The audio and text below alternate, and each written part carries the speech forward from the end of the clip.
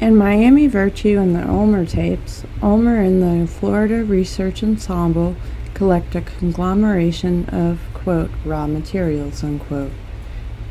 Hundreds of photographs, interviews, and videos of Miami's Haitian communities for later investigations by means of emergent agency.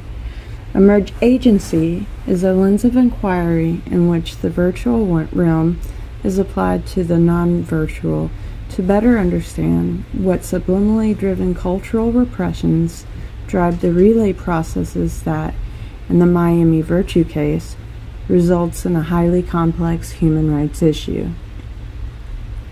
Miami Virtue's focus is to understand what the relays are that produce this third product discrimination towards Haitian immigrants, both by corporations as well as federal governmental departments. Departments such as the Department of Immigration, the Coast Guard, etc.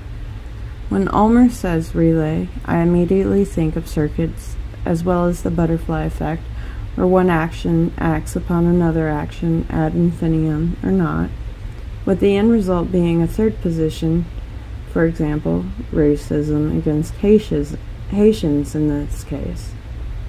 Ulmer seeks to deconstruct, via electracy, how this web of complexities occurred, and what processes or relays could lead towards resolving the injustice. Ulmer defines electracy as an extension of, quote, poetic and art imaging into a general practice of language used by citizens for quotidian, personal, and specialized thought and expression. As a starting point of processing the photographs and other media collected for this project, Ulmer and the Free Institute use the popcycle approach. Ulmer's popcycle is the foundation of his mystory genre and enciphers the identity of an individual or collective by the nature of how four discourses regarding that individual or collective intersect. This intersection is referred to as a crossroads. To better understand Haitian injustice in Miami, he focuses on the Haitian community and explores this community using the popcycle. The organization of Part 2, Miami Narrative, is sliced up in this fashion, as the sections are defined as allegory, family, entertainment, history, and theory. Investigating a community or individual by slicing up parts of said community like a turkey at Thanksgiving might resonate initially as oversimplified. However, each of these discourses are multifaceted. In regards to this project, Ulmer states that, quote, the book is composed as a systematic unpacking or unfolding of one photograph. Crossroads promoted from its anonymous condition of one still among the hundreds taken by Revelle, a passing moment within the hours of videotapes recorded during the drift through the river zone to become a metonym with, with categorical power. The book takes a documentary approach. It is argued in a literate way, but draws on the bricolage of image categories by including substantial citations not only from Revelle's field work, but from theoretical and scholarly sources as well. One purpose of the book being to serve as a resource for the design of other choras in other cities. Miami Virtue stands on its own as a theory and pedagogy, but the proof of what it claims requires electrate, not literate, means. The family popcycle discourse consists of natural language, for example, your native language in the literal sense, oral forms like anecdotes, proverbs, or jokes, common sense reasoning, and self evident proof.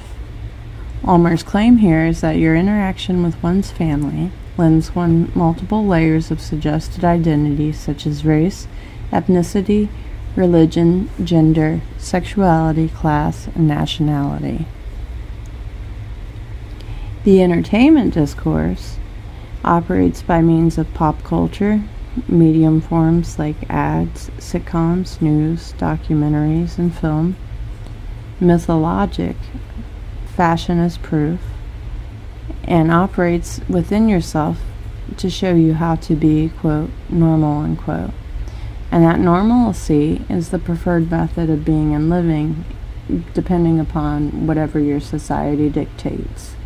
Westernized societal norms for example, leave silent most of whom are not white, male, heterosexual, patriotic, or rich. Values from entertainment discourses bridge the abyss between school and family life experiences. They fill the gap.